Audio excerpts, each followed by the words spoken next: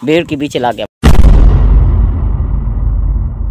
असलम दोस्तों मम्मी कहता हूँ आप सब यहाँ भी होंगे, पुरस्कून होंगे, और मेरी यही दुआ है कि आप सब यहाँ भी हो, पुरस्कून हूँ। So welcome to my new vlog आज भाई साहब फैनली कुर्बानी का दूसरा जानवर भी रिवील हो जाएगा। दूसरा जानवर हम लोगों ने सेलेक्ट किया हुआ है मेंढा। और माशाल्लाह, मेंढे काफ़ी प्यारे होते हैं, बहुत ज़्यादा खूबसूरत होते हैं। पहले मैंने आप लोगों को बकरा दिखा दिया तो आज इनशाला मेंढा भी रिवील कर देंगे। यहाँ पर ये देखो, लिपाई हो चुकी है इस मशीन के सीन की, क्योंकि यहाँ पर फिर चारा वगैरह होता है ना, अगर ये जगह सही तरीके से मज़बूत ना हो तो फिर चारा मट्टी में मिक्स होगा। इसकी दूसरी वजह ये है, ये आप लोगों को एक बीज दिख रहा होगा। ये है चारे का बीज। अगर ये जगह मज़बूत नहीं होगी तो फिर ये वाला बीज इस जगह में मिक्स हो जाएगा। तो फिर हम लोग अगले साल के लिए बीज हासिल नहीं कर पाएँगे। इसी वजह से इसकी लिपाई ज़रूरी है, ये बीज उस वक्त तो ये गिरता है नीचे, जब हम लोग चारा डालते हैं ना अंदर मशीन में तो फिर इस तरह ये सामने गिरता रहता है और चारे के साथ और फिर बाद में नीचे रह जाता है, जो कि हम लोग उठा लेते हैं। ये जो पैप है ना पंप वाला ये यार पड़ा है इधर खाल में तो अब उठाकर इसको इधर रख देते हैं नींबू में ताकि नींबू को पानी लगे, क्योंकि सुबह सुबह इधर कद्दू की बेलों को पानी लग गया है। ये देखो माशाल्लाह, ये बेले भाई साहब, एक कद्दू, इतना बड़ा कद्दू हुआ पड़ा है एक, और भी उठाई पड़ी होगी आगे यार, मुझे फ़िलहाल दिखाई नहीं दे रहा है। अब फाइनली दूसरा जानवर रिवील करने का टाइम आ चुका है तो चलिए चलते हैं। ये इधर बाढ़ में अपनी सारी भेड़ बकरियाँ बंद हैं तो सबसे पहले भाई साहब, ये अपना बकरा आ गया कुर्बानी का और इधर देखो, यहाँ पर ये भेड़ें खली हैं। तो इन्हीं में से मेंढा है। आप लोग यहाँ से पहचान करो कि कौन सा मेंढा होगा इनमें से। ये इतनी भेड़ी करी हैं। मेंढा जो है ना, सारी भेड़ों से अलग दिख रहा है, चमक रहा है। तो आप लोग चेक करो कौन सा है। ये वाला मेंढा है भाई साहब, ये देखो।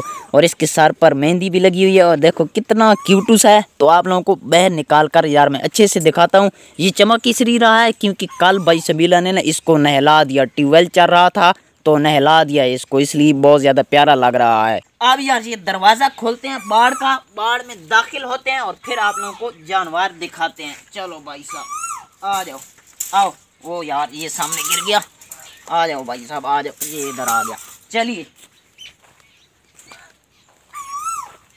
ये रहा अपना प्यारा सा नन्ना सा मेंढा नन्ना तो नहीं है भाई साहब, इतना बड़ा और काफ़ी मोटा तवा है। इसको यार बहरा मैं निकालता हूँ। थोड़ा सुस्त खड़ा है क्योंकि इसी इसकी आराम करने का टाइम है ना। इसी वजह से। चल भाई, बाहर आ जा। बल्ले बल्ले ये आ गया यहाँ पर। अब बाढ़ का दरवाज़ा मैं बंद कर देता हूँ ताकि और जानवर ना निकल सकें। ये। दरवाज़ा यहाँ पर आ गया। ओ यार उधर भाग गया चलो यार। ओ भाई। भाग रहा है। रुको।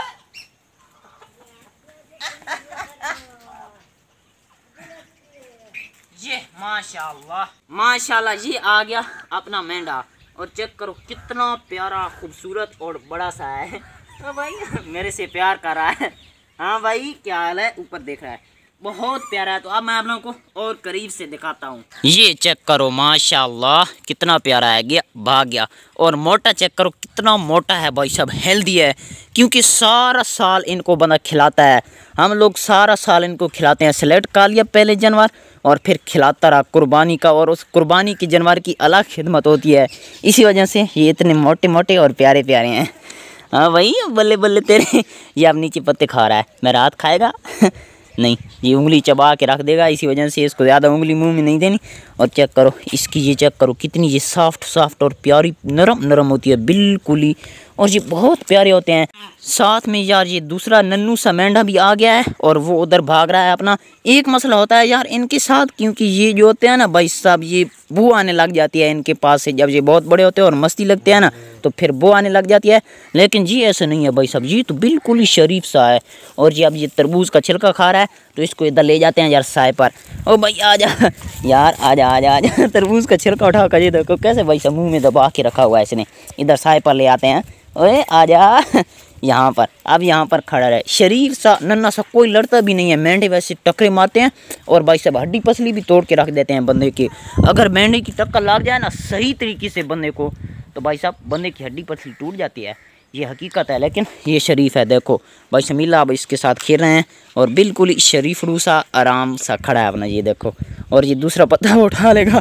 भाई समीला ने वो छिलका खींच कर उधर भुका दिया क्योंकि मट्टी वगैरह होगी ना उस पर। भाई समीला, अब इसको पकड़ कर अंदर बंद कर देंगे या? बैर, ये फिर नुकसान करेगा, भाग जाएगा ना? इस तरह ये बरस रहती है भाग जाता है। ये इधर भाई सब चला जाएगा चारे में। तो इसी वजह से इसको अंदर बंद करना ज़रूरी है। चलो भाई चलो भाई, चल जा ले जा यार इसको। ये देखो, ऐसे ऐसे भाई सब बहुत मोटू ताज़ा है। काफ़ी प्यारा है। इसकी उम्र बहुत ज़्यादा साफ्ट है यार, और है भी साफ़ साफ़ इसके ऊपर थोड़ा बहुत ये साइडों पर ये देखो ना, गोबर लगा हुआ है। तो इनशाला एक बार और नहलाना है इसको, फिर ये साफ़ हो जाएगा। भाई वहाँ भी पहुँच चुके हैं इधर। चलो भाई, अंदर बंद कर दो इसको। ये यहाँ से और फिर बाहर अच्छी तरह बंद करना यार, बाकी जानवर निकल जाते हैं। वो गया। भाग कर अपनी जगह पर। वो भेड़ों को तंग करेगा औरों को। भेड़ के पीछे ला गया भाई साहब। ये इस तरह ही करता है थोड़े बहुत। कभी कभी करता है यार, वैसे ये शरीफ है। फ़िलहाल टाइम हो चुका है असर का और मैं आ गया हूँ फ़सलों में। काफ़ी टाइम हो गया यार, आप लोगों को बाघ नहीं दिखाया और चारे वगैरह की कंडीशन नहीं दिखाई।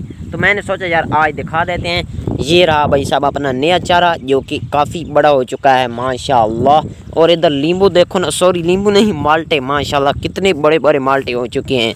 ये देखो भाई साहब, ओए होए होए माशाल्लाह माशाल्लाह। इधर इस पौधे पर माल्टे और बड़े हो चुके हैं, ये देखो भाई साहब, ओए होए जिस पौधे वाले माल्टे बहुत बड़े हो चुके हैं, माशाल्लाह, और काफ़ी ज़्यादा हैं। इस पौधे पर माल्टे भी काफ़ी ज़्यादा हैं और उस पर भी काफ़ी ज़्यादा माल्टे हैं। हमारा जो लूसन था, वो भाई साहब ख़त्म हो चुका है। बिल्कुल ये देखो जी थोड़ा थोड़ा पड़ा और इसके ऊपर भेड़ें वगैरह खाती रहती हैं तो ये भी ख़त्म हो जाएगा और ये मैदान चटियल हो जाएगा भाई साहब। वो कब का खिला रहे हैं हम लोग जानवरों को? सर्दियों का खिला रहे हैं भाई साहब।